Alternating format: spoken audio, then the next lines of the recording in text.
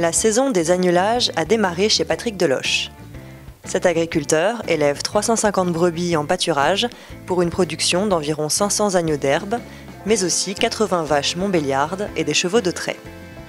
L'aménagement de sa stabulation est peu courant, puisque tous les animaux sont regroupés sous le même toit, les bovins et les ovins se faisant face. Les deux mots d'ordre de Patrick Deloche, autoconstruction et fonctionnalité. Nous voici ici dans mon bâtiment d'élevage où sont regroupés tous mes bovins et mes moutons. Ici, nous sommes en élevage euh, traditionnel basé sur l'herbe. On a essayé de regrouper euh, tous les animaux hein, dans un même bâtiment fonctionnel afin que nous puissions avoir euh, comment, toute une démarche organisée pour qu'on ait le moins de temps à consacrer à, dire, à ne rien faire ou à tourner en rond.